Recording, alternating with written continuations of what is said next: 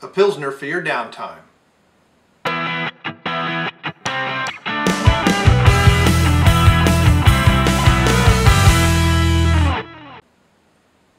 Hi, it's Bryon Lape back with another beer review, a Brainmuffin. And that's what I'm known on and Untappd. So uh, some people have been asking, Brainmuffin on Untappd, send a friend request and I'll accept. Uh, just don't be surprised how many check-ins you see some nights. And of course, as always, there go the dogs. Somebody's going to be chewing on something.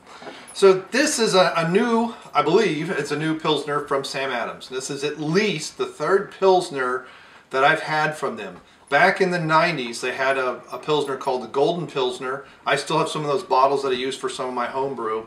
Um, and if, the slogan was something like, you've been drinking Pilsners, have, but have you ever tasted one or something like that. I don't know what happened to that one. Uh, I don't know if they even still make it. Maybe I need to dig a little deeper on that. But I actually liked that Pilsner. It was pretty good. It was great with, with you know your fatty meats and sausage and stuff like that, as you would expect a Pilsner to be, to you know, either Czech or Southern German uh, cuisine. And then they came out with Noble Pils, which I had multiple times. I had multiple iterations.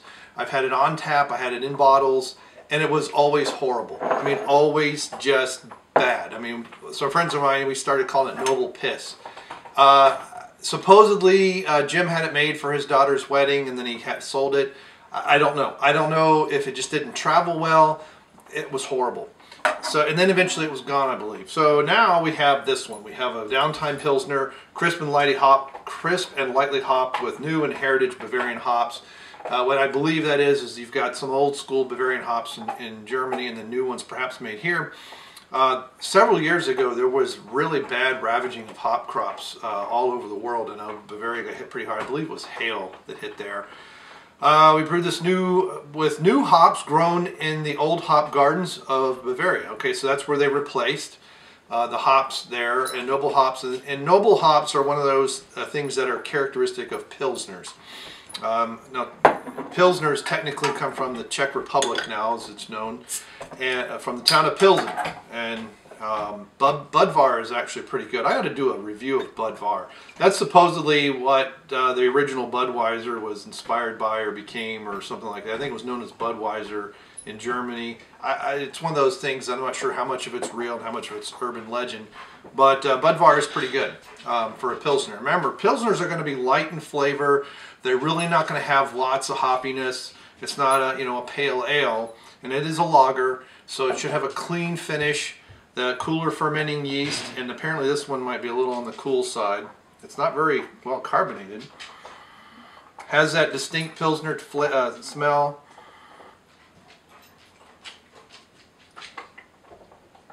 And so it may not have a lot of bubbles. Once you drink it, it's very carbonated, and that is that's like Pilsner and there's a there's a little bitter aftertaste. Uh, there's also uh, um, and their extreme their they had a they had a pilsner. It was I forget what it was called. It wasn't ultimate pilsner. It wasn't extreme, but it had a hot, a hot bitterness of an IBU of 100. I remember that's so. This is the fourth pilsner, and I actually like that one too. I forget what they called those things. I'm gonna have to review those things. I know it seems like I'm really ill prepared to talk about stuff. So I'm gonna go and check into this one. You know, I'm not a huge Pilsner fan. Um, I will say this, as a home brewer, the Pilsner is one of the absolute hardest styles to do, bar none. Uh, the thing about a hoppy ale, even if I just say I did an ale this color and I hop the crap out of it, I can hide a lot of imperfections in my system and in my gear and everything else with a lot of hops. Pilsners aren't really hoppy. They're just kind of there to be consumed while you're enjoying other things. They're just way to having something to drink that's a little bit above water. Um, so it's not going to have crap tons of, of flavor. And so because of that, you don't have lots of malts, you don't have lots of, of yeast, you don't have a lot of flavors, you don't have much hop characteristics, some but not much. Any imperfection at any point in your manufacturing, you're creating of a Pilsner, it's going to show up. So I have to, as much as I don't like those big commercial breweries that make you know giga gallons of garbage that beer to produce that beer that consistently for that in those mass quantities like they do is extremely difficult and I will tip my hat to, to them for that And that's all I'll tip my hat to them. Everything else is, you know, the marketing scams and all that other nonsense I don't want to get into. So as far as a Pilsner, this is much better than the Noble Pils. I will say that, which was also made from Noble hops. And now I spilt it, party foul. I actually did spill it that time. Now it's warmed up a little bit. Now this being a Pilsner, being a lager, really 40 degrees is about as warm, maybe 43, depending on the type of hops. Because then you're just going to get a lot of bitterness because there's no malt backbone there to, to sing against.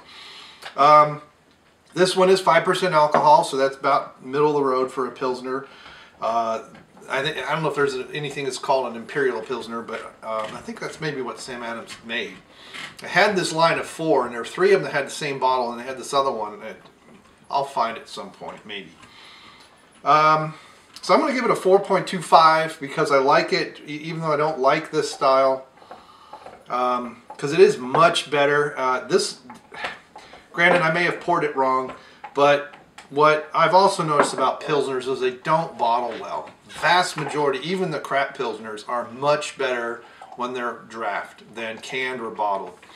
Because um, it just, it's a very delicate, very, uh, I don't want to say middle of the road, it's, but it's a very narrow band of flavor for a Pilsner. And because of that, it doesn't tend to travel well. And this, I mean, it's a brown bottle, but this gives very little. Um, it's slightly better than a clear or green bottle, but not much. Uh, gold bottle, uh, red bottles right would have gold in the glass. That's actually helps prevent. And cans are much better as far as light struck. But a pilsner, any mishandling of a pilsner at any point, if it got too warm, if it sat in the sun, uh, especially if it's in a bottle, it's going to show up when you try to consume it, and that's why pilsners are make. I, mean, I know the big mega brewers make all kinds of, of marks about them. As far as the craft beer pilsner, this is probably one of the better ones. And the best pilsners I've ever had have all come from Germany and some of the breweries there that are really good. Um, not your your your mega ones though. So, but this is definitely, like I said, you know, it's a German Czech style, southern Germany, southeast southeastern Germany, and in, into the Czech Republic. So it's obviously going to go with a lot of foods from that region. Goulash soup, your your sausages uh, in the German uh, southern sausages are a little bit different than what you get in the north, and that's pretty much in the states. At least I found in the Midwest, most of the people that came here from Germany came from the north, and it's a very different flavor. Bratwurst in, in, in Germany, where I grew up in the south, are kind of they're not red. They're kind of a pink. You know, they're like a brown color. They're not white like they are here, and what people call.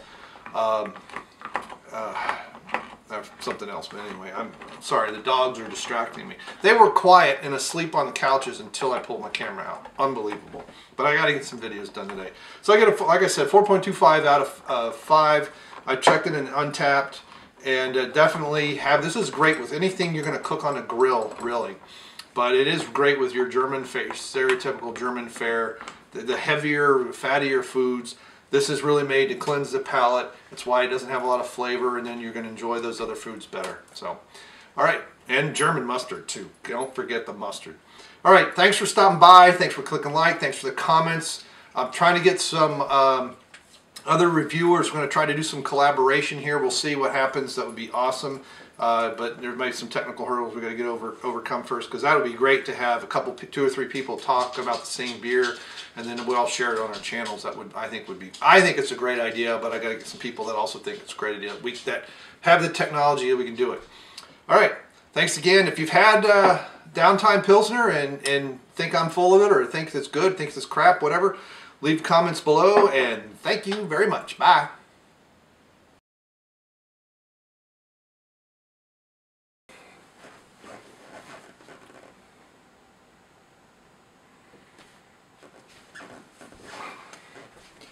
Hello and welcome to the craziness.